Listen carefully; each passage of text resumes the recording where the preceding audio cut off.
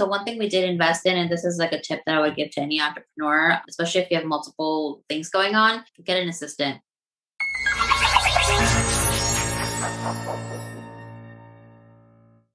This is Jen Barna. I'm here again with Dr. Saira Ahmed. Thank you for joining me again.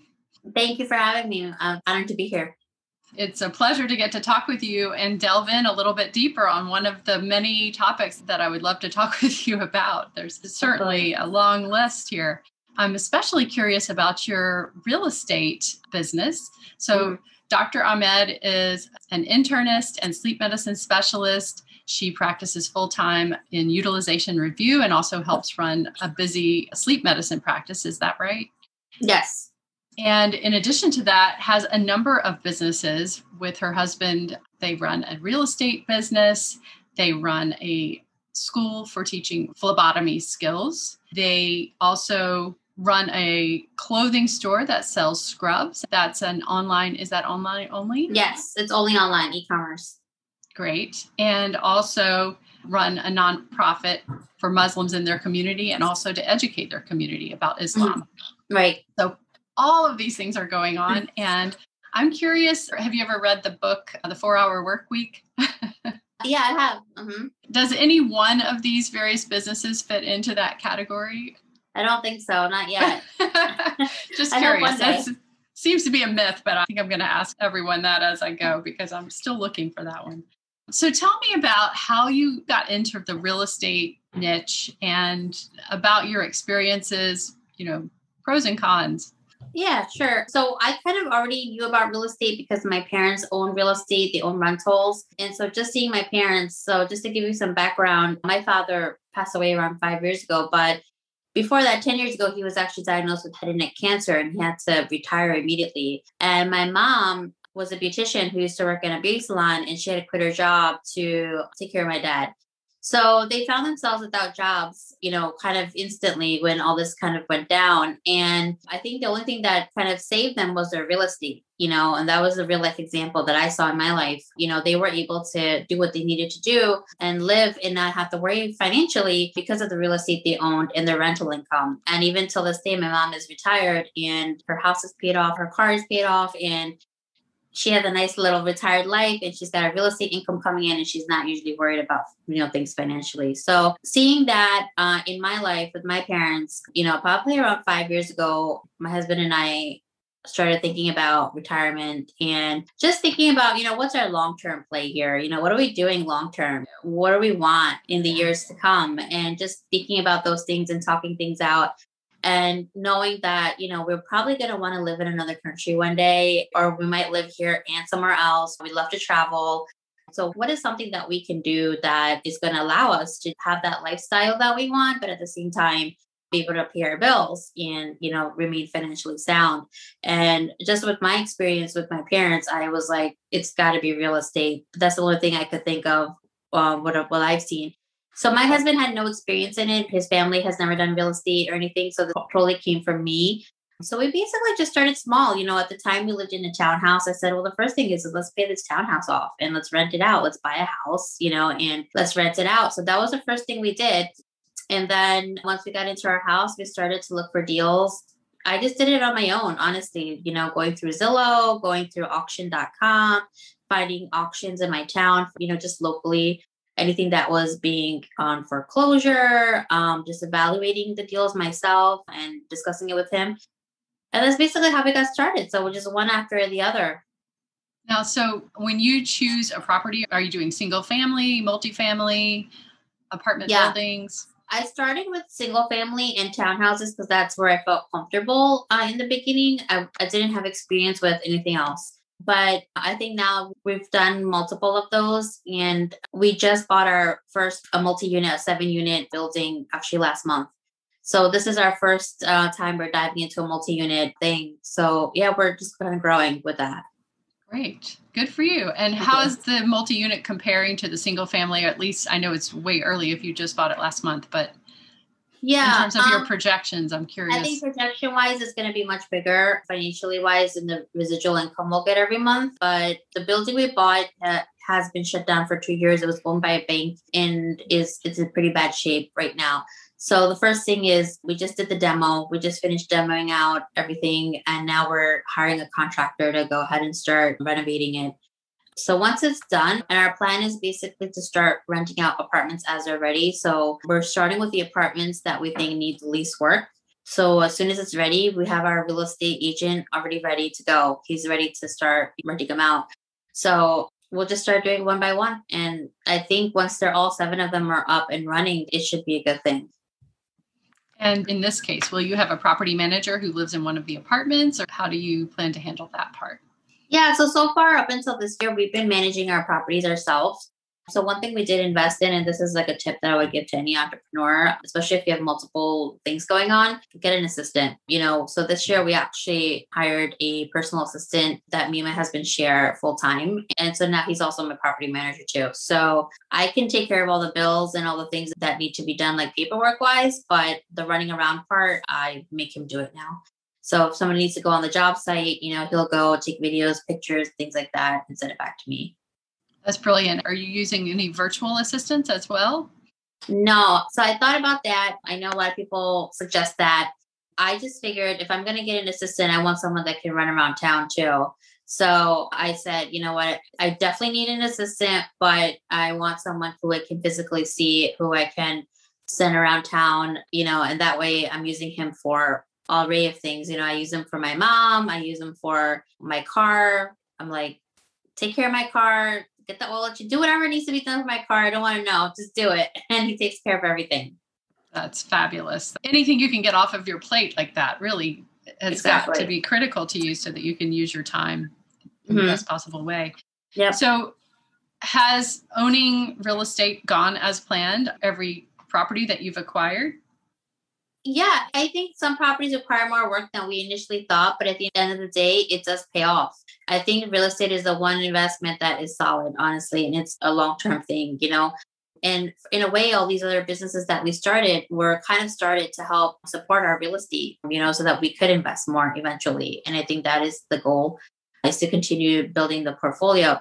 I mean, I think no projects are perfect. Sometimes, you know, we bought a project and there was something wrong that we didn't realize was wrong before we bought it. And it turns out our budget needed to be bigger to fix that mm-hmm. issue. But I think so far, every project, though, has paid us back. And so, do you have a specific formula that you use when you're looking at a property to determine whether it will cash flow? Yeah. So basically, you have to look at what is going to be the rental income, what is the income that you're projecting that you're going to get every month.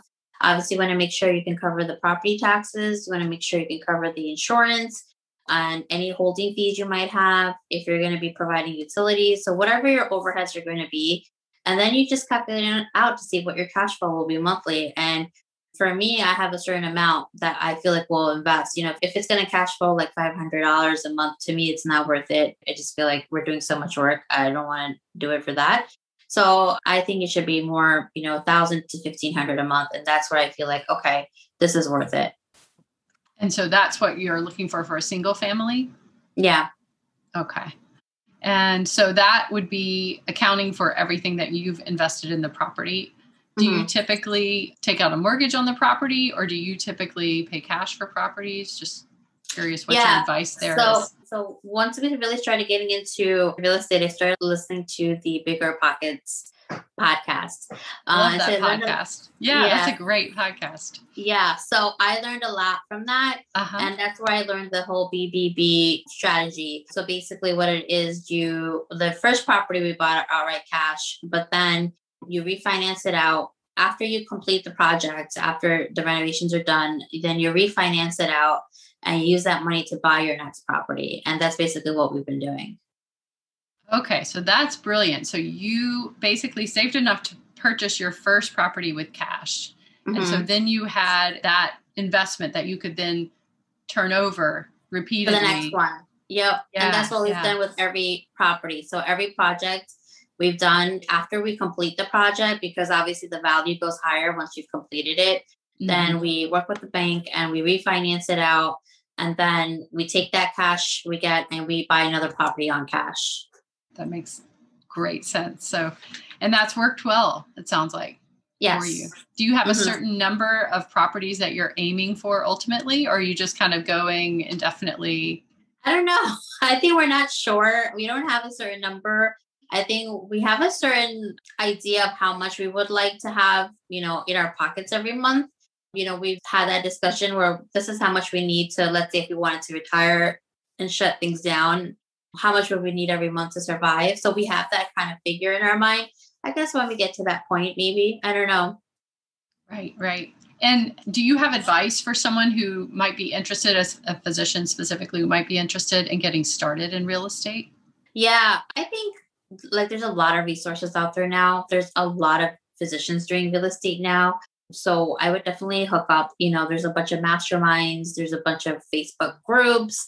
The Bigger Pocket podcast has been so awesome. I've learned a lot of tips from just listening to that. So yeah, I would just get started with surrounding yourself with that type of stuff and those kind of people to know what to do. And I believe there's classes and courses out there too. I haven't done any of those, but it's an option as well. You were a kid, did your parents actually sit down with you and show you the books so that you really understood the workings, or did you just observe as you were no. in and out? of the house? No, I didn't. They didn't show me anything. But now that my mom is retired, I manage all her properties. So we actually helped my mother-in-law buy a property that I manage now because she saw what we were doing. My mother-in-law saw, saw what we were doing, and she was like, "Well, I've got money in the bank. Why don't you buy me something?" So I helped her buy something. So I think once it came down to me, my mom kind of threw everything on me when she moved down here, and she said, "Now, you know." she's like, You're gonna inherit all this, so you might as well start working for it. so, so I manage it for her now and my mother-in-law. So I, I just kind of learned as I went along. What was the hardest thing to learn as you we like to say, you know, flying the plane as you're building it? yeah.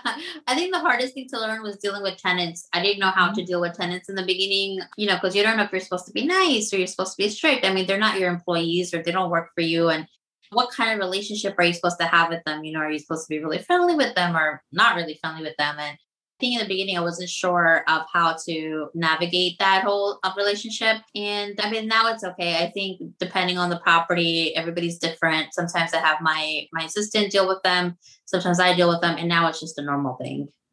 Do you have specific guidelines that you're using to choose your tenants or for your applications? No, I think one big mistake I made in the beginning was I thought I could find the tenants myself and I can bypass the whole real estate agent part. And that's a big mistake. I definitely would invest in an agent. You know, giving them that one month commission is totally worth it. You know, if it's going to ensure having a good quality tenant. I've been there, done that, where I've had to evict somebody. I've been through the whole eviction thing already, and it's not a fun thing. So I definitely would recommend having an agent to work with. That's brilliant advice. Definitely pays for itself right away. Absolutely. Yes. Do you have a favorite real estate book? I don't. I've read a few different books. I actually don't have a favorite one. I I think the favorite book I probably is like the all famous, you know, the was that Rich Dad Poor Dad. You know, everybody talks about that sure. book. But yeah, I don't have a favorite now. Yeah, it sounds like you've taken that advice to heart for yes. sure. Mm-hmm. Terrific. So, Saira, can you please tell us how people can find you? Yeah, people sure. Want to reach out. Yeah, sure. I think the best way to get me is probably through Facebook. I check Facebook a lot and through Messenger. So just go ahead and send me a friend request on Saira Ahmed, S A I R A A H M E D. And that would be the best way. Our website for our e commerce store is www.aplusmedicalscrubs.com. So you can definitely send me a message through there too. I do get those emails. And I think that would be the best way to get me. Well, thank you again so much for coming on the podcast. And My I pleasure. definitely look forward to talking with you again. Absolutely, anytime.